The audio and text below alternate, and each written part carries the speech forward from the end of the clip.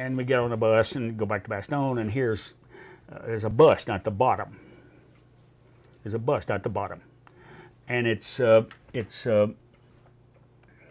there's a, a bust of Patton down there. If we look at it, we're going to get on the bus to go back to the square in Bastogne, but the but you couldn't get through. Bastogne's a town of 20,000 people. I bet you there were 50,000 people in that square, where it's there's a Sherman tank mounted there and a bust of McAuliffe and the Sherman's got six or seven big holes in it, so obviously it was destroyed.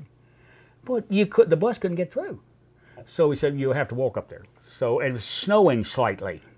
Well, if you get in the middle of the street, it's kind of kind of evaporated. So you're walking up, and there's the people on each side of the street. They're five and six and seven deep of civilians cheering.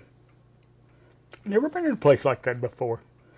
And these people you know, a woman rushes out over here, hugs me and kisses me. Thank you. A man comes out over here, a little lady. He didn't hug me to kiss me, but he hugged my shoulders. You know, we appreciate what you've done. You know, and so we get up. We get up to the square, you know, walking through, and I say you had to kind of plow through it. They kind of moved around so you could get in there. Going to lay a wreath at the McAuliffe statue, bust, everything like that. So. Um, anyway, the I'd gotten a medal earlier. Let me have those two right over there, please. Yeah, those two. Here's one that came from the Grand Duke of Luxembourg. He gave it to me personally, hung it around my neck, said thank you, Grand Duke of Luxembourg. Here's here, here it is. Here's one that the King of Belgium gave me, you know, personally, like this kind of thing and, and you know, thank you. And, and but he hung around your neck, and he shook your hand. They did it personally. Okay, is that good? That's good, don't you think? The two ruling people in those two countries. No, here's the best one.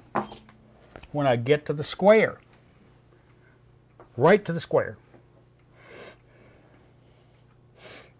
this woman right over here, two little kids, little Belgian kids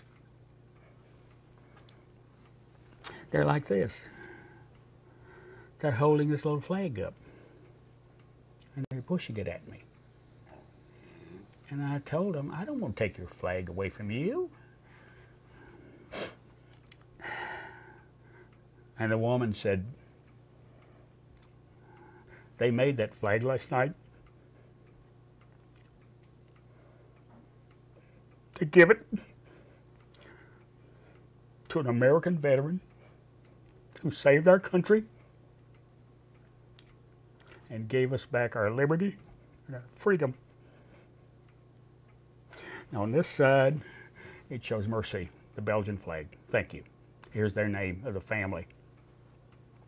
This side is the American flag. Best of all, it was snowing a little, not much, but the snow kind of smeared the stripes.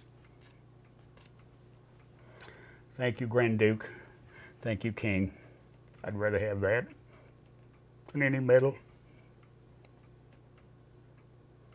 To think of a better way to be appreciated, mercy, and thank you. Look at that. And that's something? Say I'm going to probably keep that for a while, don't you think?